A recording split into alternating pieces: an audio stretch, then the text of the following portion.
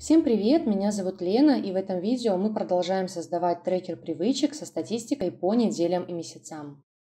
Это третье и заключительное видео по трекеру, где мы дополним его блоками с визуально приятным отображением и с помощью формул добавим мотивацию к действию. В конце создадим архив для привычек, которые стали неактуальны, и добавим обложку для страницы. Ссылки на первое и второе видео вы найдете в описании, ну а мы переходим к следующему шагу. Начнем с недельной статистики. Нам нужно создать дубликат нашей таблицы, который будет отображен в виде галереи, который можно свободно перенести в любое место на странице и даже за ее пределы, и который в то же время будет считать прогресс по трекеру. Чтобы выполнить все эти условия, просто дублировать таблицу будет мало, так как мы не сможем ее никуда перенести. Нам нужно создать ссылку на таблицу, которая поможет вывести статистику туда, где она требуется. И мы можем это сделать двумя способами. Первый вариант. Нажимаем любой кнопкой мыши на название таблицы, выбираем Copy Link to View, вставляем любую строку ниже и нажимаем Created Linked View of Database. Второй вариант. В любой свободной строке нажимаем на плюс, ищем Linked View of Database и выбираем таблицу, на которую нужно сделать ссылку, в нашем случае на статистику по неделям. Таким образом, двумя путями у нас получился одинаковый результат. И теперь эту таблицу мы можем перенести в любое место на странице и даже за ее пределы, и она все равно будет высчитывать прогресс по трекеру. Теперь нам нужно придать нашей таблице вид квадратного блока. Нажимаем на название, выбираем Edit View, кликаем Layout и выбираем отображение в виде галереи. Таким образом, мы получаем три пустые квадратные карточки, соответствующие отфильтрованным ранее неделям. Чтобы не запутаться, мы будем работать только с одной неделей, поэтому кликаем на фильтр и выбираем первую неделю 2023 года. Второе название можно скрыть. Сейчас карточка показывает только название недели, потому что все остальные поля скрыты. Чтобы сделать их активными, нажимаем на название таблицы, Edit View, Properties и кликаем по зрачкам напротив привычек. И теперь прогресс отображен, но названия так и не появились. Карточка выглядит нечитаемой и неудобной в применении, так как мы видим только данные из ячеек. Поэтому с этими колонками мы работать не будем, скрываем их снова через название таблицы Edit View, Properties, делаем зрачки неактивными. Чтобы объединить название колонки и прогресс по ней, мы воспользуемся формулами, которые будем создавать в таблице «Статистика по неделям».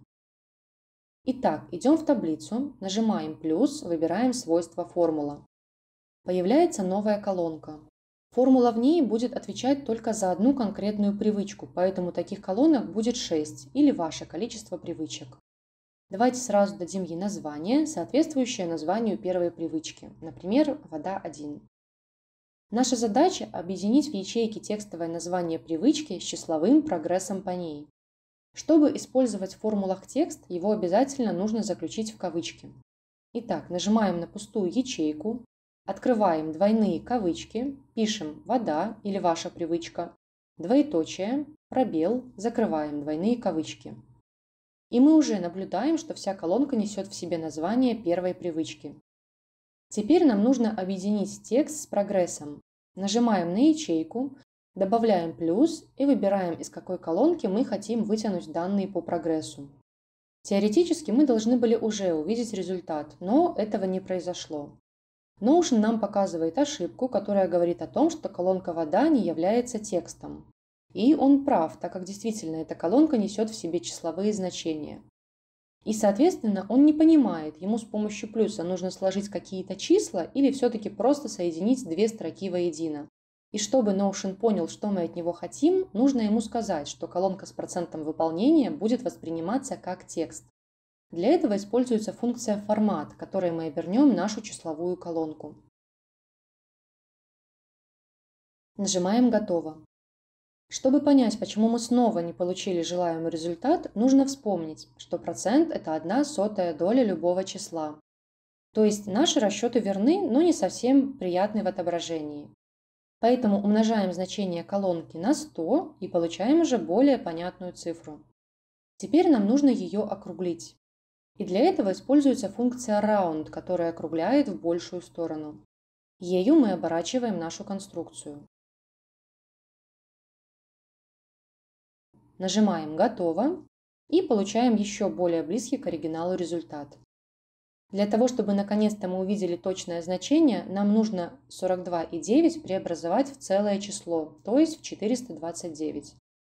Для этого умножаем на 1000, то есть прибавляем 0 к уже записанной сотне.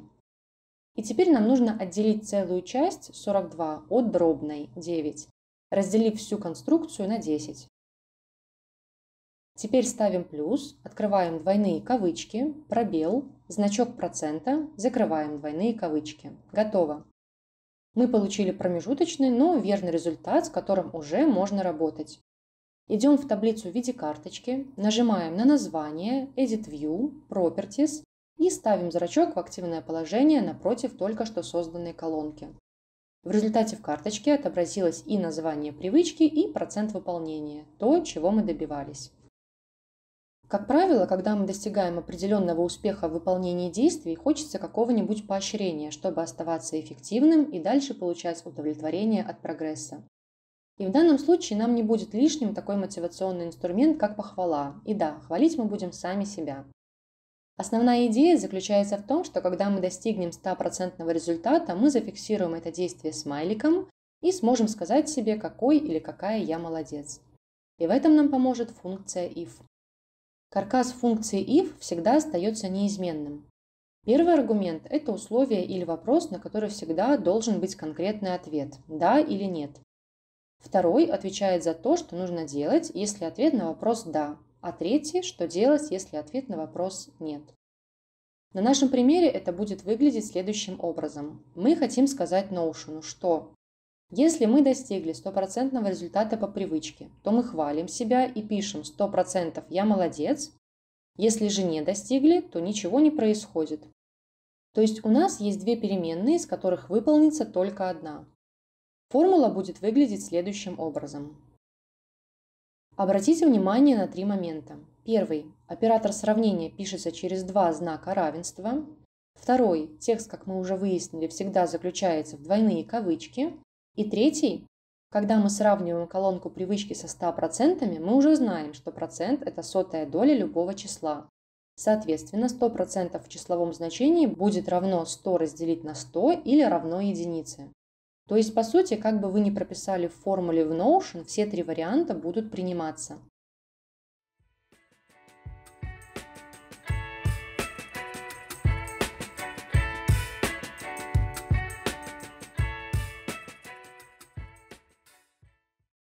Теперь давайте зафиксируем результат смайлом выполненного чекбокса. Открываем формулу и перед 100% во втором блоке вызываем смайлики сочетанием клавиш Win плюс точка. Ищем соответствующий. И сразу давайте добавим смайлик перед названием привычки. Готово. Если вам достаточно зафиксировать конечный результат, то формулу можно закрывать. Однако, если вы хотите еще сделать акцент на промежуточных действиях, например, похвалить себя за то, что уже прошли половину пути, или остался последний рывок до достижения цели, то формулу можно доработать.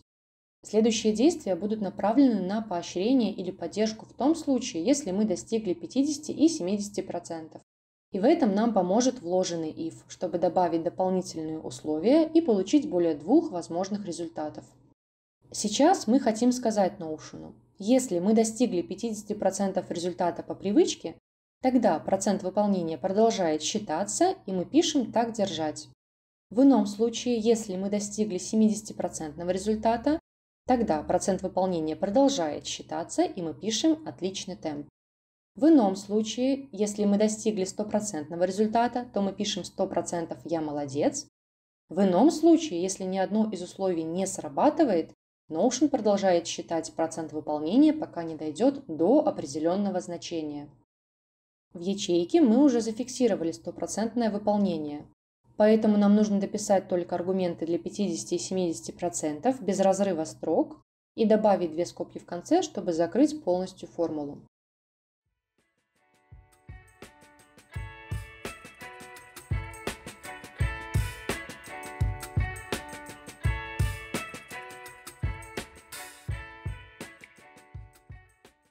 Теперь дополним текст смайликами и формула готова к применению.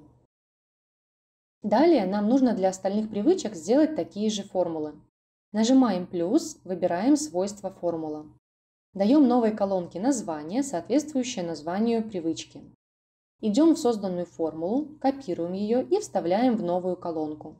И чтобы она корректно заработала, мы просто меняем во всей формуле название первой привычки на следующую. И таким образом мы создаем оставшиеся колонки.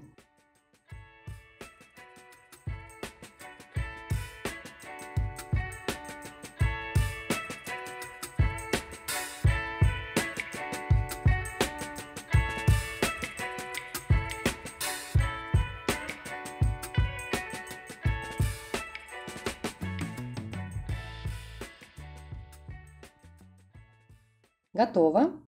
Теперь скрываем их все, идем в таблицу в виде карточки, нажимаем на название, Edit View, Properties и ставим зрачок в активное положение напротив только что созданных колонок.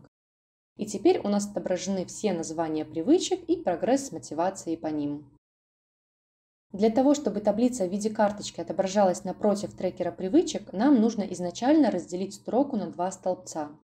Идем в начало страницы, если у вас между названием и трекером нет свободных строк, то сначала добавьте одну после трекера, а затем перенесите его на одну строку ниже, потянув за 6 точек рядом. Теперь в свободной строке нажимаем на плюс и скроллим до самого конца.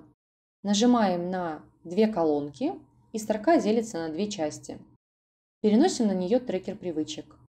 Таким же образом берем карточку с прогрессом и устанавливаем напротив трекера. Придадим ей необходимый размер, который вы можете в дальнейшем регулировать как вам хочется. Нажимаем на название, Edit View, Layout, Card Size и выбираем Large, большой. Поднимаемся на строку выше, кликаем Card Preview и выбираем Page Cover, чтобы добавить изображение. Готово. Теперь подрегулируем расположение на странице, чтобы блок был максимально справа и не мешал отображению трекера. Далее кликаем на саму карточку, открывается страница. Над названием недели нажимаем Add Cover, добавить изображение и изменить изображение. Как видно, можно взять картинки из галереи Notion. Если они не подходят, можно загрузить свое, можно ставить ссылку на изображение, а можно пойти на Unsplash. Это бесплатный фотосток и уже на нем по ключевому слову присмотреть себе заставку. Вернемся к размеру карточки. В статистике ранее мы создавали фильтр по неделям, который также актуален и для этой таблицы. Если вы хотите отслеживать прогресс, например, по нескольким неделям, вы можете сделать размер карточки меньше и установить фильтр на желаемые недели. С недельной статистикой в виде галереи мы закончили. Теперь нам нужно сделать такую же галерею для статистики по месяцам. И здесь все действия будут подобны предыдущим. Итак, раскрываем годовую статистику, нажимаем любой кнопкой мыши на название таблицы, выбираем Copy Link to View, вставляем любую строку ниже и нажимаем Created Linked View of Database.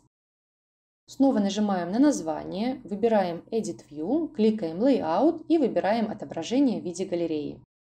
Получаем три пустые квадратные карточки, соответствующие отфильтрованному ранее кварталу. Для того, чтобы в дальнейшем в правом столбце карточки месяцев отображались по любому количеству от 1 до 12, а не кварталам, нам нужно в таблице годовой статистики сделать фильтр по месяцам. Нажимаем плюс, выбираем свойство Select, даем название месяца. И в каждой ячейке прописываем название месяца. Далее скрываем ее, Идем в фильтр и ставим фильтрацию по этой колонке. Готово. И теперь в галерейном отображении ставим галочки на нужные вам месяцы. Второе название можно скрыть. Возвращаемся в статистику в табличном представлении. Нажимаем плюс, выбираем свойства формула. Даем ей название, соответствующее названию первой привычки. Теперь нам нужно скопировать формулу. Поднимаемся вверх, нажимаем на привычку в карточке, и нам открывается формула. Копируем ее и вставляем в свежесозданную колонку в годовой статистике. И она сразу начинает работать, так как названия привычек в двух таблицах одинаковые. Если вы хотите убрать мотивационный текст и оставить только смайлики, то вы можете легко это сделать в самой формуле, удалив ненужное. И таким же образом заменить один текст поддержки на другой. Проделываем те же действия с остальными привычками.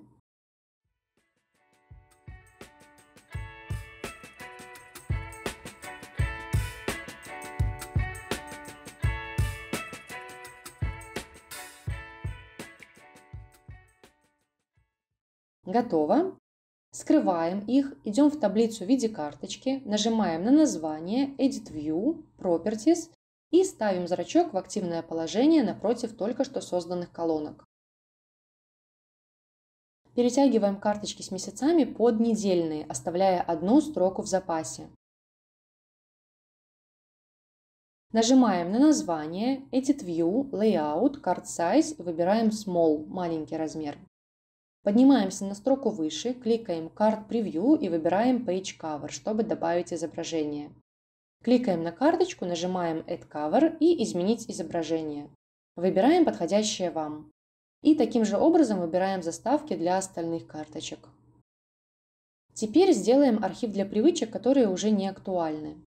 Идем в годовую статистику, кликаем на 6 точек напротив названия, нажимаем Duplicate. В дублированной таблице меняем название на архив и более конкретизированное архив привычек. Теперь удаляем все колонки, кроме фильтра по кварталам, месяцам и связи с трекером привычек. Если привычка больше не актуальна, мы скрываем ее во всех таблицах.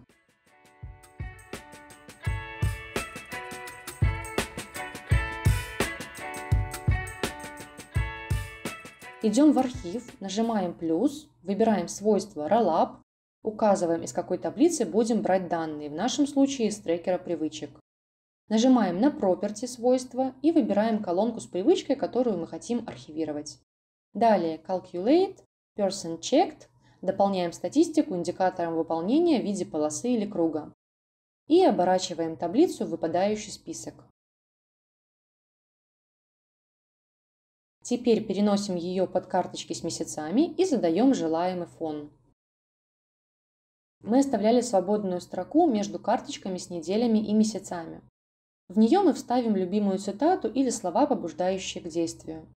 Нажимаем плюс и выбираем либо quote цитата, либо callout выноска. Я выбираю второй вариант, вставляем цитату и по желанию меняем цвет фона и смайлик. И заключительный штрих. Мы выбираем заставку для всей страницы.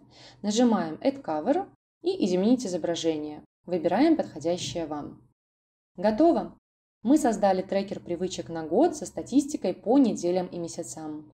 Пишите в комментариях, если у вас остались вопросы. Ну а если видео было полезным, то ставьте лайк и подписывайтесь. Спасибо большое за внимание и всем пока!